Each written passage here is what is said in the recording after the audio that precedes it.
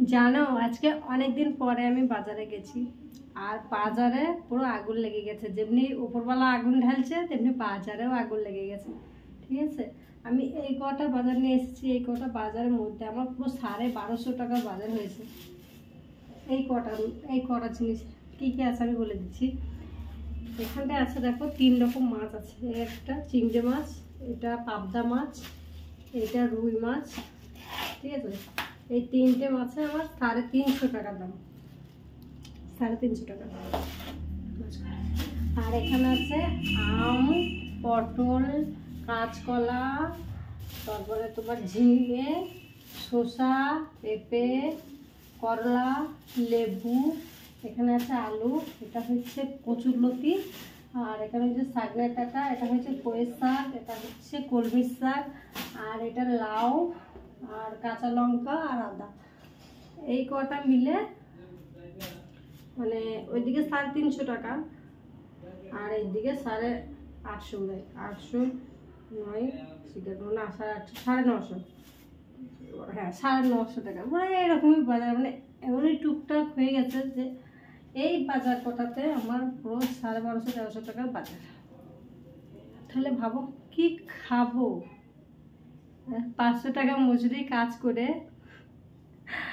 বাজারে মানে বাজারে যেতে ইচ্ছা করছে না, এত দাম হয়েছে জিনিসে। আবার এদিক থেকে ওপরওয়ালা তো গরম ঢালছেই বাজার থেকে এসে আমার একদম পুরো বেহাল হয়ে গেছে আমি। বাজার থেকে এসে আমার আর ক্ষমতা নাই যে একটু উঠে বসবো। ঠিক আছে, এসেই শুয়ে পড়েছিলাম পাহাড় হাওয়ায়। তারপরে যাই হোক, কাঁচকলাটা আমার খুব পছন্দ হয়েছে হেভি হয়েছে কাঁচকলাটা।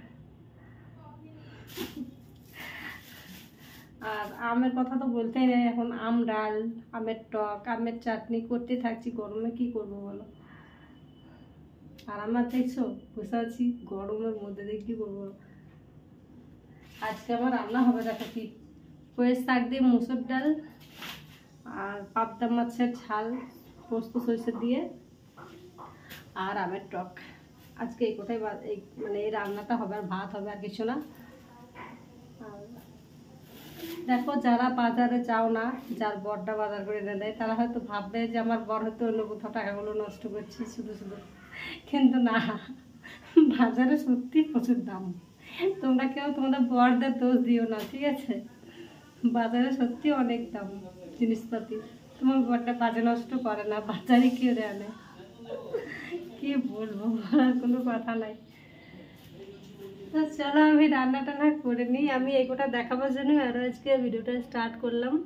কারণ আমার মনে হলো আমাদের এখানে যা বাজারের দাম সবার একটু জানা উচিত। তার জন্য করলাম তো পাড়া গ্রামে হয়তো এর থেকে একটু কমই হবে, আমি জানি দেশের বাড়িতে একটু কমই হবে। কিন্তু ওটা যাই হোক, এটা শহর বাজার তো, একটু দাম বেশি নিয়েছে। আর তোমরা কেউ এক দুজন জিজ্ঞাসা করছ, বৌদি, তোমার কপালে কি হলো গো? তো বলি শোনো কপালে কিছু হয়নি। কপালে চা মানে যে বলেছ তোমরা যে মারামারি করেছ দাদার সাথে? না গো, মারামারি করি নাই। ওই ফোনে চার্জার লাগানো ছিল আর আমি ফোনের চার্জারের নিচেতেই শুয়েছিলাম। ফোনটা এরকম টেনেছি আর চার্জারটা এসে ধরা শুরু পড়ে গেছে। দিয়ে মানে ফেটে রক্তটা বের হয়নি, তবে আঘাত লেগেছে অনেক, ওই জন্য এখানে রক্ত জমে গেছে। তো দুদিন পরে সব ঠিক হয়ে যাবে, কেউ উল্টো পাল্টা ভেবো না, আমাদের মারামারি ঝগড়াটা হয় না। ঝগড়াঝাটি হয় টুকটাক, আবার মিটে যায়, কিন্তু মারামারি ফাটাফাটি হয় না। এই হচ্ছে আমার কাহিনী।